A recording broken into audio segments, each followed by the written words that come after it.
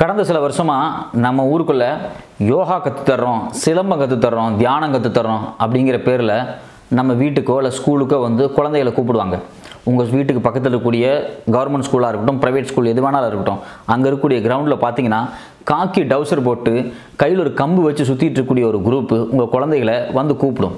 அங்கே போனால் யோகாவோ தியானமோ எக்ஸசைஸோ மட்டும் சொல்லித்தர மாட்டாங்க. மற்ற மதத்துக்காரங்களை எப்படி வெறுக்கிறது அவங்களோட எப்படி சண்டை போடுறது ஏன் இன்னும் ஒரு படி மேலே போய் அவங்களோட எப்படி நேரடியாக வன்முறையில் இறங்குறது எப்படி வெடிமருந்துகள் தயாரிக்கிறது துப்பாக்கி எப்படி பயிற்சி எடுக்கிறதுன்னு அடுக்கடுக்காக மிக மோசமான மனித விரோத செயல்களையும் சேர்த்து சொல்லிக் கொடுப்பாங்க. இது ஏதோ நான் சொல்கிற கதைலாம் கிடையாது. இது உண்மையாக நடந்த ஒரு விஷயத்தை புத்தகமாக ஒருத்தர் பதிவு செஞ்சுருக்காரு. கேரளாவில் அஞ்சு வயசு பையனை ஒரு அம்மா இந்த அமைப்பு நல்ல அமைப்பு நினச்சி அவங்கள்ட்ட எக்ஸசைஸ் கற்றுக்கிறதுக்காகவும் யோகா கற்றுக்கிறதுக்காகவும் அனுப்புகிறாங்க அந்த பையன் தன் வாழ்க்கையில் அடுத்த ஒரு இருபது இருபத்தஞ்சி வருஷத்தை தொடர்ச்சியாக அந்த அமைப்போட சேர்ந்து செயல்படுறான். அந்த அமைப்பு வேறு எதுவும் கிடையாது. ஆர்எஸ்எஸ் அமைப்பு. சாதாரண கிராம பொறுப்பிலிருந்து மாவட்டம் மாநில பொறுப்பு வரைக்கும் அந்த பையன் போகிறான் அந்த பையன் அங்கே சந்தித்த மிக மிக மோசமான பல ரகசிய சம்பவங்களை ஒரு புத்தகமாக பதிவு செஞ்சுருக்காரு. அந்த புத்தகத்தோட பேர் தான் நரக மாளிகை. இந்த புத்தகத்தை எழுதின சுதீஷ் மின்னி பல ரகசியமான தகவல்களை வெளியிட்டிருக்காரு. தான் சின்ன வயசுலேருந்து ஒரு இருபது இருபத்தஞ்சி வருஷம் ஆர்எஸ்எஸோட ட்ராவலான மொத்தத்தையும் பதிவு பண்ணியிருக்காரு. ஆர்எஸ்எஸ்னுடைய ரகசிய திட்டம் என்ன? அவங்க எப்படி செயல்படுறாங்க? எந்த கட்டமைப்பில் இருக்காங்க? மக்கள்கிட்ட எப்படி பரவுறாங்க? அப்படின்னு பல தகவல்கள் இதில் இருக்குது அதை தான் இப்போ நம்ம பார்க்க போகிறோம்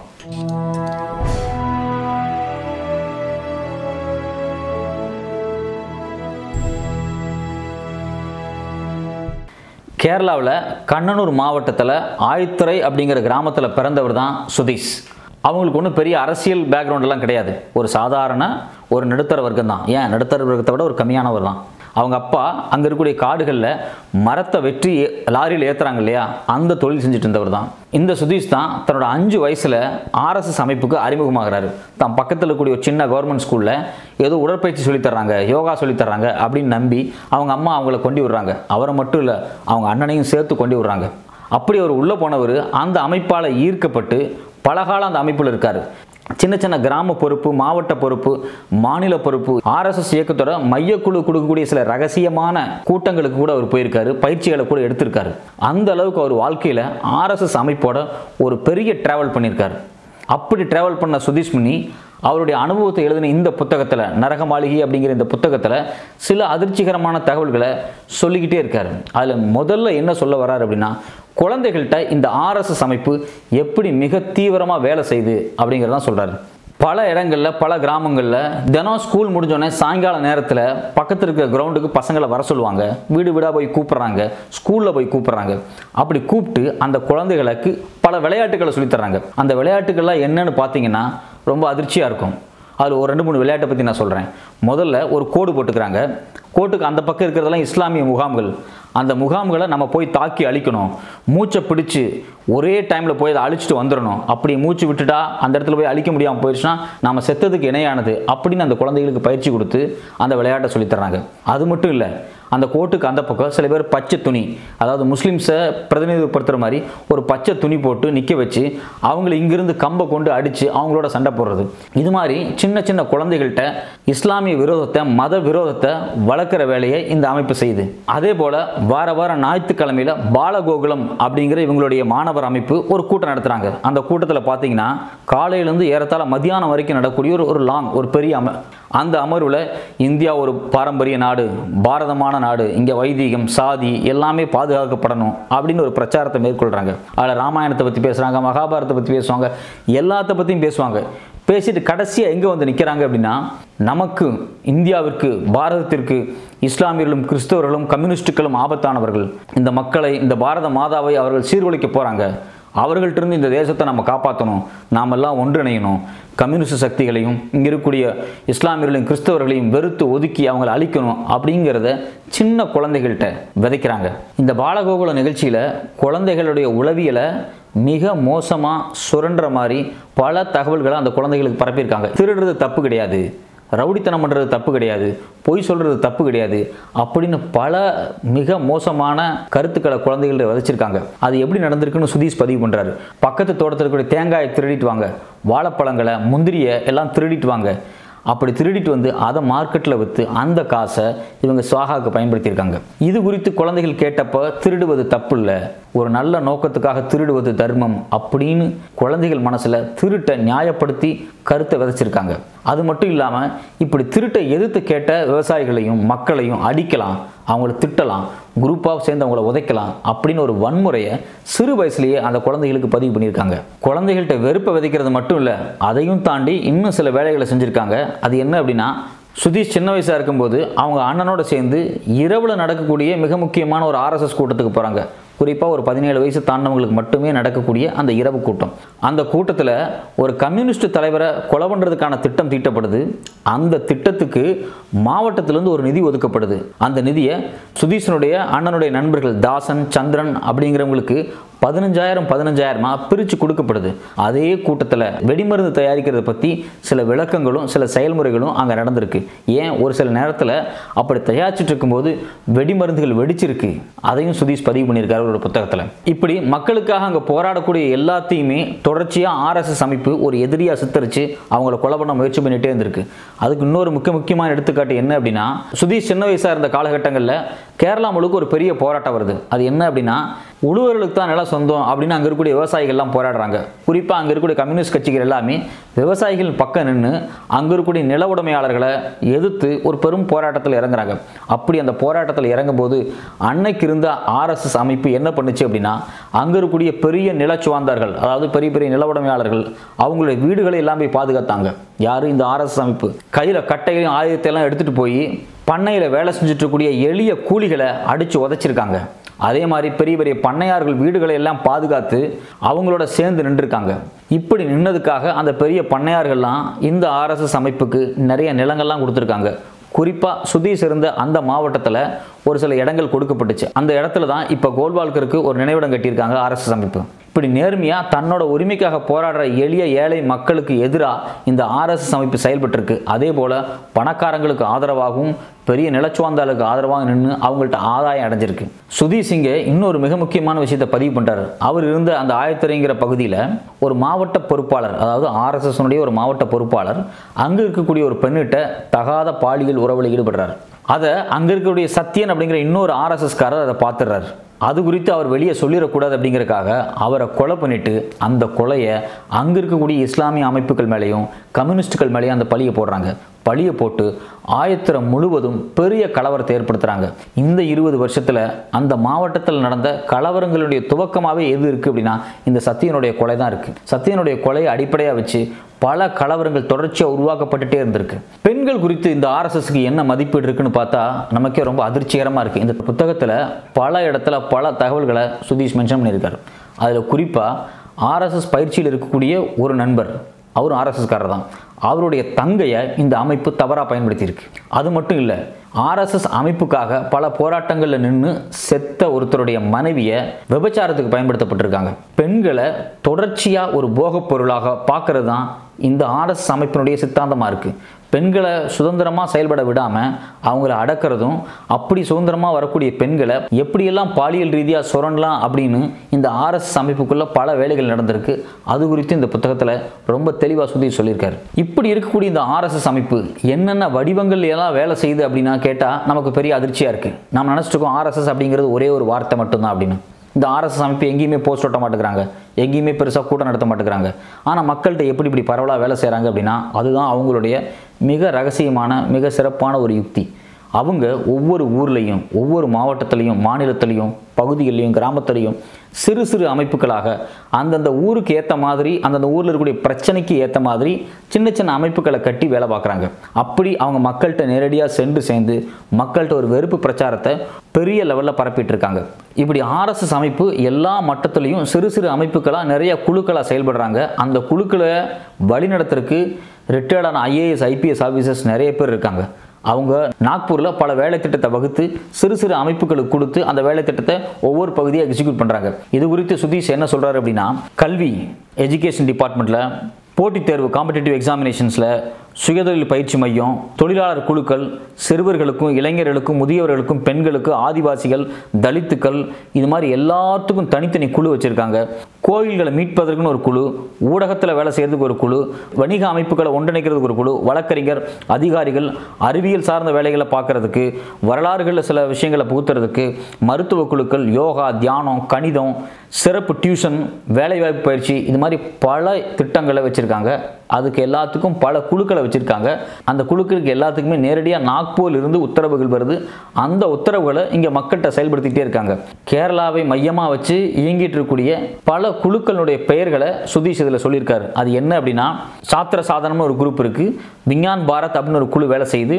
அடுத்து வித்யா பாரதி கல்வி சார்ந்த சில வேலைகளை செஞ்சுட்டு இருக்காங்க. குரு பூஜை அப்படின்னு நடத்துறதுக்குன்னு ஒரு குழு இருக்குது விஸ்வ ஹிந்து பரிஷத். இது ஆல் இந்தியா லெவலில் இருக்கக்கூடிய ஒரு அமைப்பு தான் இந்து ஐக்கிய வேதி இது குறிப்பாக கேரளாவில் இருக்கக்கூடிய இந்துக்களை ஒன்று திரட்டுறதுக்கான வேலை செய்யக்கூடிய ஒரு அமைப்பு. அடுத்தது பாரதிய விசார கேந்திரா அப்படின்னு ஒரு அமைப்பு. அதுக்கு அடுத்தது பாரதிய மஸ்தூர் சங்கம் அதாவது தொழிலாளர்கள்லாம் ஒன்றிணைக்கிற ஒரு அமைப்பு சேத்திர சம்ஸ்கரண சமிதின்னு ஒரு அமைப்பு சேவா பாரதி இது எல்லாத்துக்கும் தெரிஞ்சது தான் இவங்க தான் வெளிப்படையாக வேலை செய்யக்கூடிய ஒரு குழு. அடுத்தது சேவா விபாக்னு ஒரு குழு இருக்காங்க. வனவாசி கல்யாண்ராமன் அதாவது ஆதிவாசிகள்கிட்ட வேலை செய்யக்கூடிய ஒரு குழு இருக்குது ஏக்கல் வித்யாலயா ஆதிவாசிகள்கிட்ட கூடிய கல்வி குறித்து வேலை செய்யறதுக்கு ஒரு குரூப் இருக்குது விவேகானந்த கேந்திரா இந்த யோகா தியானம் அப்படிங்கிற அடிப்படையில் எப்படி இந்துத்துவத்தை சேர்க்கறதுன்னு ஒரு குரூப் வேலை செய்யுது. அகில பாரத மீன்பிடிப்பாளர் சங்கம் அதாவது கடலோர மாவட்டங்களில் அங்கே இருக்கக்கூடிய அவர்கள்ட்ட எப்படி இந்துத்துவ பரப்புறதுங்கிற வேலையை இந்த அமைப்பு செய்யுது அடுத்தது ஐயப்ப சேவா சமாஜம். கேரளாவில் பெரிய லெவலில் இருக்கக்கூடிய ஐயப்ப பக்தர்களை இந்துத்துவ சக்திகளுக்குள்ள ஈர்க்கிறதுக்காக இருக்கக்கூடிய அமைப்பு தான் இது. கண்ணகி அப்படின்னு ஒரு அமைப்பு இருக்குது இந்த நாடக கலை சம்பந்தமான வேலைகளை இந்த அமைப்பு செய்யுது அடுத்தது ஜென்மபூமி அப்படின்னு ஒரு பத்திரிகை இருக்குது கேசரி.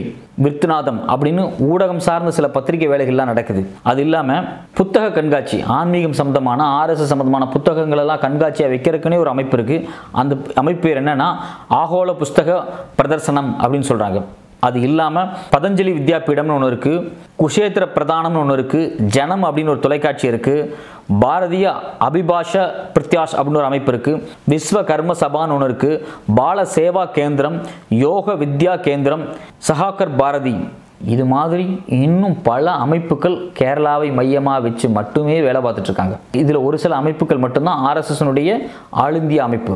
மீதி எல்லாம் அந்த பகுதியில் இருக்கக்கூடிய ஒரு பிரச்சனையை எடுத்து அந்த பிரச்சனையை மையமாக வச்சு மக்களை ஒன்று தட்டுறது. அது பிரச்சனையாகவும் இருக்கலாம் இல்லை பண்பாடு சார்ந்த செயல்பாடாகவும் இருக்கலாம்.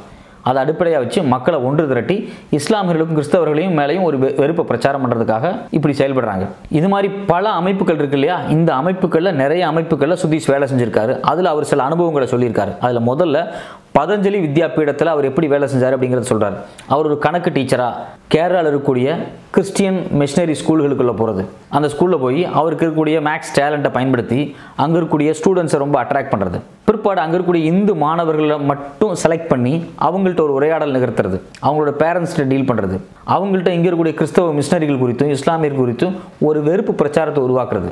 ஒரு இன்ஸ்டியூஷனுக்குள்ளே போய் அந்த இன்ஸ்டியூஷனில் இருக்கக்கூடிய இந்து மாணவர்களை தேர்ந்தெடுத்து அங்கே இருக்கக்கூடிய கிறிஸ்தவ மாணவர்கள் மீதும் இஸ்லாமிய மாணவர்கள் மீதும் ஒரு வெறுப்பு பிரச்சாரம் பண்ணுறது அப்படி ஸ்கூல்களுக்குள்ள மத வேறுபாடுகளை உருவாக்குறதுக்காக இருக்கிற அமைப்பு தான் இந்த பதஞ்சலி வித்யாபீடம். இந்த அமைப்பு சார்பாக பல நாள் சுதீஷ் வேலை செஞ்சதை அவர் பதிவு பண்ணியிருக்கார். அடுத்து ஒரு அமைப்பு இருக்கு. அதுக்கு பேர் என்ன சொல்றாங்க அப்படின்னா சாத்திர சதனம் அல்லது சிசு வாட்டிகா அப்படின்னு அதுக்கு பேர் சொல்றாங்க.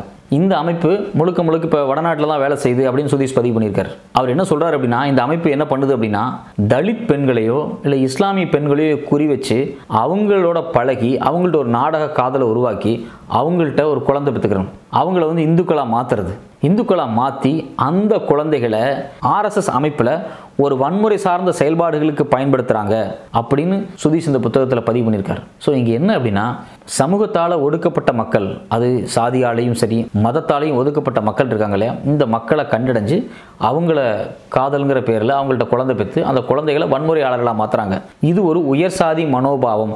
இது ஒரு பார்ப்பனிய மனோபாவம் அப்படின்னு சுதீஷ் சொல்கிறார் சுதீஷ் இதை விட மிக முக்கியமான இன்னொரு விஷயத்த சொல்கிறாரு ஏன்னா அவர் கேரளாவை மையமாக வச்சு வேலை செஞ்சதுனால அங்கே இருக்கக்கூடிய கோயில்கள் எப்படி ஆர்எஸ்எஸ் ஆக்கிரமிச்சது அப்படின்னு. அதுக்கு ஒரு அமைப்பு இருக்குது அது பேர் தான் சேத்ர சம்சான சமிதி அப்படிங்கிறார். கோயில் பாதுகாப்பு குழு. ஏறத்தாழ ஆயிரத்தி தொள்ளாயிரத்தி தொண்ணூறுகளில் ஒரே ஒரு கோயில் மட்டும்தான் இந்த அமைப்பினுடைய கட்டுப்பாட்டில் வந்துச்சு. அது எப்படி வந்துச்சு அப்படின்னா இந்த அமைப்பு நல்லா சமஸ்கிருதத்தில் வேதத்தில் ராமாயணத்தில் மகாபாரதத்தில் நல்ல புலமை பெற்ற ஆட்களை ஒரு கோயிலுக்குள்ளே அனுப்புறது. அந்த கோயில் நடக்கக்கூடிய சடங்காச்சாரங்கள் வழிபாட்டு முறைகளில் தேவையில்லாமல் இன்டர்ஃபியர் ஆக்கி அதில் சில அட்வைஸ் பண்ணுறேன் சில முரண்பாடுகள் அப்படி இப்படின்னு சொல்லி அந்த கோயிலுக்குள்ளே தன்னுடைய ஆக்கிரமிப்பு உள்ள நுழைக்கிறாங்க. ஆயிரத்தி தொள்ளாயிரத்தி தொண்ணூற்றி ரெண்டில் கேரளாவில் வேலை செய்ய ஆரம்பித்த இந்த அமைப்பு இன்றைக்கி ஏறத்தாழ ஐநூறு கோயில்களை நேரடியாக அவங்களோட ட்ரஸ்ட்டு கீழே கொண்டு வந்துட்டாங்க. அது மட்டும் இல்லாமல் ரெண்டாயிரம் கோயில்களில் அவங்களுடைய ஆட்கள் இருக்காங்க. அவங்கள தாண்டி கேரளாவில் இருக்கிற கோயில்களில் எதையும் செய்ய முடியாது அப்படின்னு உறுதியாக சுத்தி சொல்கிறாரு இப்படி கோயில்களை ஆக்கிரமிக்கிறது அப்படிங்கிறது ஆர்எஸ்எஸ்னுடைய மிகப்பெரிய கனவாக இருக்குது இப்படி தான் தமிழ்நாட்டில் ஜக்கி வாசுதேவ் வச்சு எப்படி ஆக்கிரமிக்க ட்ரை பண்ணிட்டு இருக்காங்க அப்படிங்கிறத நாம் இந்த ஒரு ஆறு மாசமா வெளிப்படையாக பார்த்துட்டு இருக்கோம் இந்தியாவில் பல மாநிலங்களில் ஐஏஎஸ் ஐபிஎஸ் பயிற்சி கொடுக்கறதுக்காகவே பல இன்ஸ்டியூட்டை வச்சிருக்கு இந்த ஆர்எஸ்எஸ் அமைப்பு. அதில் மிக முக்கியமான ஒரு அமைப்பு தான் சங்கல்ப் அப்படின்னு டெல்லியில் இயங்கிக்கிட்டு இருக்கக்கூடிய மிக முக்கியமான அமைப்பு. இந்த அமைப்பு குறித்து தான் சுத்தி சொல்லியிருக்காரு அவர் என்ன சொல்றாரு அப்படின்னா ஆர்எஸ்எஸ் காரங்களுடைய குழந்தைகளை ஐஏஎஸ் பயிற்சி கொடுக்கறதுக்காக டெல்லிக்கு வர வச்சு அங்கே இந்த சங்கல்ப் அப்படிங்கிற சென்டரில் ஐஏஎஸ் பயிற்சி கொடுத்து அவங்கள ஐஏஎஸ் ஆஃபீஸர்ஸா ஐபிஎஸ் ஆஃபீஸர்ஸா இன்னும் பல கேரட்ஸா இந்தியா முழுக்க உள்ளே அனுப்பிச்சு தனக்கு சாதகமான ஒரு சூழலை இந்த ஆர்எஸ் அமைப்பு தொடர்ந்து பல வருஷமாக செஞ்சுட்டு இருக்கு அப்படின்னு சொல்கிறாரு ஆர்எஸ் அமைப்போட மிக முக்கியமான விஷயம் என்னன்னா பல்வேறு அடுக்குகளில் பல்வேறு கூட்டங்கள் நடத்துவாங்க. அதில் மிக முக்கியமான மூன்று நாள் கூட்டம்னு ஒரு கூட்டம் இருக்கு. அந்த கூட்டத்துக்கு பேர் என்ன அப்படின்னா சம்யோஜித் பைடெக் அப்படிம்பாங்க. அதாவது இந்த கூட்டம் மாநில லெவலில் நடக்கும். மாநில லெவலில் அந்த மாநிலத்துக்குள்ள ஆர்எஸ்எஸ்க்காக ரகசியமாக வேலை பார்க்கக்கூடியவங்க சந்திக்கக்கூடிய ஒரு கூட்டம். இந்த கூட்டத்துக்கு வரக்கூடியவங்க யாருமே பொது வெளியில் வேலை பார்க்க மாட்டாங்க. சாகால கலந்துக்க மாட்டாங்க. பாலகோகுலத்துக்கு வர மாட்டாங்க பயிற்சி எடுக்க மாட்டாங்க. ஆனால் இவங்க ரகசியமாக உள்ளே இருப்பாங்க. இவங்களுடைய வேலை என்னென்னா எந்தெந்த மாவட்டத்தில் இஸ்லாமியர்கள் அதிகமாக இருக்காங்க கிறிஸ்தவர்கள் அதிகமாக இருக்காங்க எந்தெந்த மாவட்டத்தில் என்ன பிரச்சனை இருக்குது எப்படி மக்களை வந்து ஒன்று திரட்டலாம் அப்படின்னு சொல்லிக்கூடிய தகவல்களை எடுத்து ஆர்எஸ்எஸ் மைய அமைப்புக்கு அனுப்புறது தான் அவங்களுடைய வேலை. இதுக்கு யார் உறுதுணையாக இருக்காங்கன்னா அந்த மாவட்டத்தில் இருக்கக்கூடிய மிக முக்கியமான அரசு அதிகாரிகளே உதவியாக இருக்காங்க. அந்த அரசு அதிகாரிகள் இதுக்கு உதவி செய்யக்கூடிய இந்த ரகசிய குழு இந்த குழு எல்லாமே அந்த மூன்று நாள் கூட்டத்தில் ஒன்றா சேருவாங்க. அப்படி சேர்ந்து அவங்க சந்திக்கக்கூடிய சில சிக்கல்களை எழுதி ஒரு கவருக்குள்ளே போட்டு அந்த மையக்குழு கொடுப்பாங்க. எங்களுக்கு இவ்வளோ பணம் வேணும். இந்த ஏரியாவில் நான் இத்தனை வருஷம் வேலை பார்க்க போகிறேன் இங்கே இவ்வளோ தகவல் எடுக்க போகிறேன் அப்படின்னு சொன்ன உடனே அந்த குழு அவங்களோட பேங்க் அக்கௌண்ட்டுக்கு ஒரு அமௌண்ட் அனுப்புவாங்க. இப்படி நேரடியாக பூனேல இருந்து அதாவது ஆர்எஸ் மைய அமைப்பிலிருந்து இது மாதிரியான ரகசிய குழுக்களுக்கு பணம் அனுப்புறது வழக்கமாக நடந்துட்டுருக்கு அந்த குழுக்கள் உள்ளூருக்குள்ளே இருந்து தகவலை திரட்டி அவங்களுக்கு அனுப்பிச்சு இங்கே பல கலவரங்களை உருவாக்குறதுக்கு வேலை செய்கிறாங்க அப்படின்னு சுதீஷ் பதிவு பண்ணியிருக்காரு. சுதீஷ் நேரடியாகவே ஆர்எஸ்எஸ் அமைப்புக்காக பல உளவு வேலைகளை பார்த்துருக்காரு. அதில் ஒரு சில இன்சிடென்ட்டை மட்டும் இதில் இந்த புத்தகத்தில் பதிவு பண்ணியிருக்காரு. அதை அவர் ஒப்புதல் வாக்கு மூலமே சொல்கிறாரு ஆமாம் இதெல்லாம் நான் செஞ்சேன் அப்படின்னு. அதில் மிக முக்கியமான ஒன்று என்ன அப்படின்னா பள்ளியிலையும் கல்லூரிகளுக்குள்ளேயும் பூந்து அங்கே இருக்கக்கூடிய இந்து மாணவர்களுடைய பட்டியல்களை எடுக்கிறது. பேர் கான்டாக்ட்ஸ் நம்பரு அவங்களுடைய பேரண்ட்ஸ் என்ன பண்ணுறாங்க அப்படிங்கிற மொத்த டீட்டெயில்ஸும் எடுத்து அந்தந்த ஏரியாவில் இருக்கக்கூடிய லோக்கல் ஆர்எஸ்எஸ் அமைப்பு பொறுப்பாளர்களுக்கு அனுப்பி அங்கே நேரடியாக அந்த குழந்தைகளை அப்ரோச் பண்ணி சாகாக்குள்ளே கொண்டு வரதுக்கான வேலையை செஞ்சுருக்காரு. அது இல்லாமல் இன்னும் மிக மோசமான ஒரு செயலை பற்றி அவர் பதிவு பண்ணியிருக்காரு. கேரளாவில் இருக்கக்கூடிய மதச்சார்பற்ற சில ஆன்மீக இயக்கங்கள் இருக்குது அதில் குறிப்பாக பார்த்தீங்கன்னா நாராயண குருவோட ஆசிரமம் சாரதா மடம் இப்படிப்பட்ட சில அமைப்புகள் வந்து ஆர்எஸ்எஸ்னுடைய கட்டுப்பாட்டிலேயே கிடையாது. இந்த அமைப்புகள் இந்த ஆசிரமத்துக்குள்ள ஆர்எஸ்எஸ் ஆட்கள் உள்ளே போய் அங்கே இருக்கக்கூடியவங்களை ஸ்டடி பண்ணுறது அந்த வேலையை சுதீஷ் பார்த்துருக்கார். அவர் சில காலம் சாரதா மடத்துக்குள்ளே போய் தங்கியிருக்காரு. நாராயணகுட மடத்துக்குள்ளே போய் தங்கியிருந்து அங்கே இருக்கக்கூடிய சாமியார்களை பற்றியும் அங்கே இருக்கக்கூடிய நிர்வாகத்தை பற்றியும் வரவு செலவு பற்றியும் பல தகவல்களை சேகரித்து அதை ஆர்எஸ்எஸ்னுடைய மைய அமைப்புக்கு அனுப்பிச்சிருக்காரு. அதனூடாக இப்படி ஆசிரமங்களையும் குழுக்களையும் ஆக்கிரமிக்கிறது இந்த ஆர்எஸ்எஸ்னுடைய வேலையாக இருக்குது இது கேரளாவில் மட்டும் நடக்கல இந்தியாவில் இருக்கக்கூடிய பல மதச்சார்பற்ற நல்ல ஆன்மீக குழுக்கள் இருக்காங்க. அவங்களோட ஒட்டுமொத்தமாக ஆர்எஸ்எஸ்னுடைய வேலை திட்டத்துக்குள்ளே கொண்டு வர்றதுக்கு பல ரகசிய சதி செயல்களில் ஈடுபட்டிருக்கு இந்த ஆர்எஸ் அமைப்பு. ஆர்எஸ்எஸ் அமைப்பு எப்படி ஒரு கலவரத்தை உருவாக்குறாங்க? அதில் எப்படி பயனடைகிறாங்க அப்படிங்கிறத குறித்து அஸ்வினி குமாரனுடைய கொலையை மையமாக வச்சு ஒரு சில தகவல்களை அவர் சொல்கிறார் அஸ்வினி குமார் அப்படிங்கிறவர் கேரளாவிலேருந்து விஹெச்பியோட தலைவராக இருந்தவர். அவர் ஒரு சிலவங்களால் கொலை செய்யப்படுறார். ஒரு ரகசியமான முறையில் ஒரு சிலவங்களால் அவர் கொலை செய்யப்படுறார். அந்த கொலையை மையமாக வச்சு கேரளாவில் இருக்கக்கூடிய இஸ்லாமியர்களுடைய கடைகளையும் வீடுகளையும் அடித்து சூறையாடுறாங்க. மிக மோசமான வன்முறை அங்கே கட்டவிழ்த்தப்படுது. மக்கள் பாதிக்கப்படுறதும் இல்லாமல் சொத்துக்கள் பெரிய லெவலில் சூறையாடப்படுது. இந்த சொத்துக்கள்லாம் என்ன ஆச்சு? இந்த கலவரங்கள் ஒரு நாள் ரெண்டு நாள் நடக்கலை. தொடர்ச்சியாக மாத கணக்கில் தொடர் கலவரங்களாக நடத்தப்பட்டுட்டே வந்துச்சு இந்த இந்துத்துவ சக்திகளால். ஏன் இந்த இந்துத்துவ சக்திகள் இந்த கலவரத்தை இப்படி நடத்தினாங்க அப்படின்னா இஸ்லாமிய வணிகர்களை மிரட்டி இந்த கலவரத்துக்கு ஒரு முற்றுப்புள்ளி வைக்கிறதா ஒரு டீல் பேசி ஒரு பெரும் பணம் கைமாற்றப்பட்டிருக்கு. அந்த பணம் கைமாறும்போது சுதீஷ் நான் நேரடியாக நின்று பார்த்தேன். ஏன் முன்னாடி தான் அந்த பணம் கைமாற்றப்பட்டுச்சு? அப்படிங்கிறது இந்த புத்தகத்தில் பதிவு பண்ணுறாரு ஒரு பெட்டி முழுக்க பணம். அதே போல் அந்த கலவரத்தில் இஸ்லாமிய வணிகர்கள்ட்டிருந்து இஸ்லாமிய குடும்பங்கள்லேருந்து திருடப்பட்ட நகைகளையும் பணத்தையும் ஒரு பிஜேபி வணிகர்கிட்ட கொடுத்து கைமாற்றப்பட்டுச்சு அப்படிங்கிறதையும் இந்த புத்தகத்தில் அவர் பதிவு பண்ணுறாரு அவர் பாலகோகுலத்தினுடைய மாவட்ட பொறுப்பாளராக இருக்கும்போது மத்திய பயிலூர் அப்படிங்கிற ஒரு இடத்துல டியூஷன் நடத்துறதுக்காக ஒரு சென்டர் வச்சுருக்காங்க. அதுக்கு பேர் வந்து சரஸ்வதி கேந்திரம் அப்படிங்கிறாங்க. அங்கே காசுக்காக அந்த இடத்த விபச்சாரத்துக்கு பயன்படுத்தியிருக்காங்க ஆர்எஸ்எஸ்காரங்க அப்படிங்கிறத அவர் பதிவு பண்ணியிருக்காரு இந்த புத்தகத்தில். அது மட்டும் இல்லாமல் பண தேவை அதிகமாக இருக்குது இந்த இயக்கத்துக்கு வந்து இன்னும் நிறைய பணம் தேவைப்படுது. அதனால் இதை எப்படி வந்து பணத்தை வந்து நம்ம கலெக்ட் பண்ணலாம் அப்படின்னு ஒரு கூட்டம் நடத்தி பேசுகிறப்போ அங்கே இருக்கக்கூடிய மிக முக்கியமான மாவட்ட பொறுப்பாளர்கள் என்ன சொல்லியிருக்காங்க அப்படின்னா கோயில் குழுவோட தலைவர் ரொம்ப நேர்மையாக இருக்கார். அவரை கொலை பண்ணிட்டோம் அப்படின்னம்னா அந்த கோயில் குழுவிலிருந்து நம்ம நிறைய பணத்தை எடுத்துக்கலாம். அதுக்கு நம்ம ஒரு ஐடியா பண்ணணும். ஒரே ஒரு மாட்டை வெட்டி கோயில் முன்னாடி போட்டுருவோம். போட்டால் ஒரு பெரிய கலவரம் வரும். அங்கே இஸ்லாமியர்களுக்கும் இந்துக்களுக்கும் ஒரு பெரும் கலவரம் வரும்போது நாம் அந்த கோயில் குழுவினுடைய தலைவரை கொலை பண்ணிடலாம். அதே சமயத்தில் இஸ்லாமியருடைய கடைகள்லாம் சூறையாடி அங்களுடைய பணத்தை எல்லாம் எடுத்துடலாம் அப்படின்னு சில ப்ரொப்போசல்ஸ் அந்த மாவட்ட குழுவில் பொறுப்பில் வைக்கப்படுது. இதை கேட்டு சுதீஷ் பயங்கர அதிர்ச்சி அடைகிறார். இது எல்லாமே அவர் கண்ணு முன்னாடி நடந்திருக்கு அப்படின்னு அவர் இந்த புத்தகத்தில் பதிவு பண்ணுறாரு இப்படி ஆர்எஸ்எஸ் அமைப்பு பணம் திரட்டுறதுக்காக பல சதி செயல்களை தொடர்ச்சியாக செஞ்சுட்டு வந்திருக்கு அப்படின்னு இந்த புத்தகத்தில் சுதீஷ் மென்ஷன் பண்ணுறாரு அவர் எல்லாமே அவர் கண்ணு முன்னாடி நடந்ததை நான் பதிவு பண்ணுறேன் அப்படின்னு சொல்லி தான் அந்த புத்தகத்தில் எழுதியிருக்காரு. இந்த சுதீஷ் எந்த அளவுக்கு ஆர்எஸ்எஸ் அமைப்போட நெருக்கமாக இருந்திருக்காரு அப்படின்னா அதுக்கு ஒரு சில முக்கியமான தகவல்களை சொல்கிறாரு ஒரு சில மிக முக்கியமான ஆர்எஸ்எஸ்காரர்களுக்கு மட்டுமே நடத்தப்படக்கூடிய ஒரு கூட்டம் இருக்குது அந்த கூட்டம் நாக்பூரில் ஆர்எஸ்எஸோட தலைமையகத்தில் மட்டும்தான் நடக்கும். ஆர்எஸோட ஹெட் ஆஃபீஸ்க்குள்ளே போகிறதே ரொம்ப கஷ்டம். அங்கே நடக்கக்கூடிய ஒரு ஏழு நாள் சிறப்பு ரகசிய பயிற்சி கூடமே இருக்குது அதுக்கு பேர் என்னென்னா நைப்புண்ணிய ஒர்க் அப்படிங்கிறது அந்த கூட்டத்தோட பேர். அந்த கூட்டத்தில் இவர் பூனே போய் ஆர்எஸோட தலைமையகத்திலேயே ஒரு ஏழு நாள் தங்கி சில ரகசிய வேலை திட்டங்களில் ஈடுபட்டிருக்கார். அந்த கூட்டத்துக்கு ரிட்டையர்டு சுப்ரீம் கோர்ட் ஜட்ஜே வந்திருக்காங்க. அது இல்லாமல் சில ஐஏஎஸ் ஐபிஎஸ் ஆஃபீஸர்ஸ் அந்த கூட்டத்துக்கு வந்திருக்காங்க. இதெல்லாம் இல்லாமல் இன்னொரு அதிர்ச்சிகரமான தகவல் என்னென்னா அந்த கூட்டம் துவங்குறதுக்கு ஒரு விழா இருக்குது அந்த விழாவில் அதானி வந்து கலந்துருக்காரு. இது எல்லாமே சுதீஷ் பதிவு பண்ணியிருக்காரு. அந்த ஏழு நாள் கூட்டத்தில் மிக முக்கியமாக விவாதிக்கப்பட்ட ஒன்று என்னன்னா சப்த சாகரங்கள் திட்டம். அதான சப்த சாகரங்கள் திட்டம் அப்படின்னம்னா சப்த சாகரங்கள் அப்படின்னா ஏழு கடல் ஒன்றிணைகிறது அப்படிங்கிறாங்க. அந்த ஏழு கடல் என்ன? ஆர்எஸ்எஸோட வார்த்தைகளில் அந்த ஏழு கடல் என்ன அப்படின்னா முதல்ல மிக முக்கியமான தொழில் அதிபர்களுடைய அமைப்பு. ரெண்டாவது ஐஏஎஸ் ஐபிஎஸ் போன்ற அதிகாரிகளுடைய சங்கங்கள். மூணாவது பல ஆன்மீக சொற்பொழிவாளர்களுடைய குழுக்களும் ஆசிரமங்களும். அது இல்லாமல் கல்லூரி பள்ளி ஆசிரியர்களுடைய சங்கங்கள். அது இல்லாமல் மருத்துவர்கள் சங்கங்கள். அதனோட ஊடகவியலாளருடைய குழு. இதெல்லாத்தையும் தொடர்ந்து சினிமா கலை பண்பாட்டு கழகம் எழுத்துத்துறை இங்கே இருக்கக்கூடிய பண்பாடு சார்ந்த குழுக்கள். இந்த ஏழு குழுக்களையும் ஒன்றிணைக்கணும். இந்த ஏழு குழுக்கள் இருக்கக்கூடிய ஆர்எஸ்எஸ் காரர்களை ஒன்றிணைக்கிறது தான் இவங்களுடைய மைய வேலை திட்டம். இது இல்லாமல் இந்த ஏழு குழுக்களுக்குள்ளேயும் இந்த ஏழு துறைகளுக்குள்ளேயும் தங்களுக்கு தேவையான ஆட்களை உருவாக்குறது தான் ஆர்எஸ்எஸ்னுடைய மைய திட்டம்.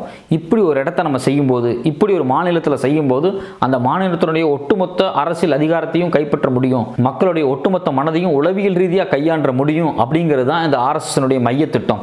இந்த திட்டத்தை எப்படி கேரளா பெங்கால் தமிழ்நாடு இப்படி பல மாநிலங்களில் எப்படி எக்ஸிக்யூட் பண்ணலாம்? குறிப்பாக இன்றைய காலகட்டத்தில் சோஷியல் மீடியாலையும் சரி இன்டர்நெட்டை பயன்படுத்தி எப்படியெல்லாம் இங்கே இருக்கக்கூடிய இளைஞர்களை இந்த திட்டங்களுக்குள்ளே கொண்டு வரலாம் அப்படிங்கிறது குறித்து விவாதிக்கப்பட்டிருக்கு. இது மாதிரி தொடர்ச்சியாக சுதீஷ் ஆர்எஸ்எஸ் அமைப்புக்குள்ளே நடக்கக்கூடிய மிக மிக ரகசியமான பல திட்டங்களையும் பல செயல்பாடுகளையும் இந்த புத்தகத்தில் தெளிவாக சொல்லியிருக்காரு. அவர் அட்டப்பாடியில் பழங்குடியின மக்கள்கிட்ட எப்படி வந்து ஒரு வெறுப்பு பிரச்சாரத்தை உருவாக்கி அங்கே இருக்கக்கூடிய கிறிஸ்தவர்களுக்கும் பழங்குடியின மக்களுக்கும் முரண்பாடுகளை உருவாக்கியிருக்காரு. அதில் அவர் நேரடியாக வேலை பார்த்துருக்குன்னு ஒத்துக்கிறார். அவரே சொல்கிறாரு மிக மிக அற்புதமான மனிதர்கள். இயற்கையோடு நெருங்கி வாழக்கூடிய அந்த பழங்குடியின மக்கள் மனசில் எந்த கெட்டமெண்ணமே இல்லாத நஞ்சே இல்லாத அந்த மக்கள்கிட்ட நாங்கள் நஞ்சை விதைச்சோம். அப்படின்னு அவர் ஒத்துக்கிறார். அது இல்லாமல் சில காலம் இவர் மகாராஷ்டிரா மத்திய பிரதேசம் நார்த் ஈஸ்டில் வந்து அஸ்ஸாம் மேகாலயா இது மாதிரியான மாநிலங்கள் இருக்கக்கூடிய பழங்குடியின மக்கள்கிட்ட வேலை பார்த்துருக்காரு. குறிப்பாக சத்தீஸ்கர் மத்திய பிரதேசில் அங்கே இருக்கக்கூடிய மாவோயிஸ்ட்டுகளுக்கு எதிராகவே பழங்குடியின மக்களை திருப்புறதுக்கான இங்கே வேலைகளை நிறையா அவர் செஞ்சுருக்காரு. அதுவும் இல்லாமல் குறிப்பாக வடகிழக்கு மாநிலத்தில் கிறிஸ்தவ மிஷினர்களுக்கு எதிராக அங்கே நடக்கூடிய கிறிஸ்தவ பள்ளிக்கூடங்களுக்கும் கல்லூரிகளுக்கும் எதிராக பல சதி செயல்களை இந்த ஆர்எஸ்எஸ் அமைப்பு தொடர்ச்சியாக செஞ்சுட்டு வந்திருக்கு. அதில் இவர் என்னென்னலாம் பங்காற்றியிருக்கேன் அப்படிங்கிறதையும் இந்த புத்தகத்தில் பதிவு பண்ணுறாரு அவர் கடந்து வந்த ஒட்டுமொத்த பாதையும் தன் வாழ்க்கையில் ஆர்எஸ்எஸ்ல அமைப்பில் இருக்கும்போது அவர் சந்தித்த எல்லா விடயங்களையும் அவர் இந்த புத்தகத்தில் பதிவு பண்ணியிருக்காரு. இன்றைக்கி இந்தியாவை ஆண்டுட்டு இருக்கிறது பாஜக. அந்த பாஜக கட்சியினுடைய தாய் அமைப்பான ஆர்எஸ்எஸ் இப்படியெல்லாம் வேலை செஞ்சுருக்காங்களா அப்படின்னு பார்க்கும்போது நமக்கு அதிர்ச்சியாக இருக்குது ஆர்எஸ்எஸ் அப்படிங்கிற பேர் நமக்கு வேணால் தெரிஞ்சிருக்கலாம். ஆனால் அந்த அமைப்பு எப்படியெல்லாம் மக்கள்கிட்ட செயல்படுறாங்க அப்படிங்கிறது நமக்கு யாருக்குமே தெரியாது. அந்த ஏரியாவே ஒரு கிரேவாக இருக்கும். நம்ம பார்த்துருக்கவே மாட்டோம். அப்படிப்பட்ட ஒரு வி- ரகசியமான விஷயத்தை இந்த புத்தகம் ஒயிட்டாக மாற்றிருக்கு இந்த புத்தகம் முத முதல்ல இங்கிலீஷில் வந்துச்சு செலர்ஸ் ஆஃப் த இன்ஃபெர்னோ அப்படிங்கிற டைட்டில் வந்துச்சு. இப்போ தமிழில் டிரான்ஸ்லேட் பண்ணி நரக மாளிகை அப்படிங்கிற தலைப்பில் வந்திருக்கு. இதை டிரான்ஸ்லேட் பண்ணது பரிசில் புத்தக நிலையம். இந்த புத்தகம் உங்களுக்கு வேணும்னா பரிசில் பப்ளிகேஷனுடைய ஃபோன் நம்பரை டிஸ்கிரிப்ஷனில் கொடுத்துருக்கோம். மக்களுக்காக குரல் கொடுக்குற சுதந்திர ஊடகத்தை ஆதரிக்க எங்கள் மெட்ராஸ் ரிவ்யூவை ஷேர் பண்ணுங்கள் சப்ஸ்கிரைப் பண்ணுங்கள் குறிப்பாக பெல் பட்டனை கிளிக் பண்ணுங்கள்